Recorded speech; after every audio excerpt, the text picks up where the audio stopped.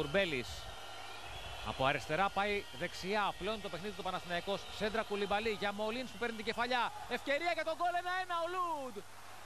Πολύ ωραίο τελείωμα του Λούντ στο 63. Ο Παναθηναϊκός ανοίγει την πόρτα της πρόκρισης. Φανταστικό τελείωμα του Λούντ. Επίθεση Παναθηναϊκού από τα αριστερά. Πήγε στα δεξιά. Γέμισμα. Κεφαλιά Μολίνς και ήρθε ανενόχλητος ο Λούντ να κάνει το αλάνθαστο. Μπορεί να ήταν μέτριος σε απόδοση, αλλά εδώ ήταν ένας ψυχρός σκανδιναβός εκτελεστής.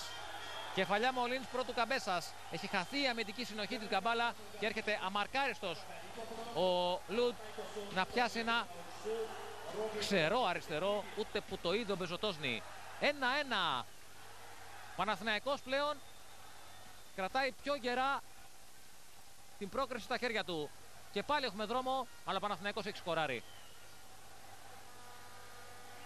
Μεγάλο γκολ είναι αυτό. Όπως λέει και ο Αποστόλης πάνω μεταδόσεις του στα ευρωπαϊκά πρωταθλήματα της Κοσμοτέ TV. Αποστολή, τι γίνεται κάτω; Θα έλεγα πως, ε, πώς θα φέρνει τύχη πάνω. Ε, δύο χρόνια πριν ο Λούντ είχε υποστεί ένα πολύ σοβαρό τραυματισμό. Σε αυτό εδώ το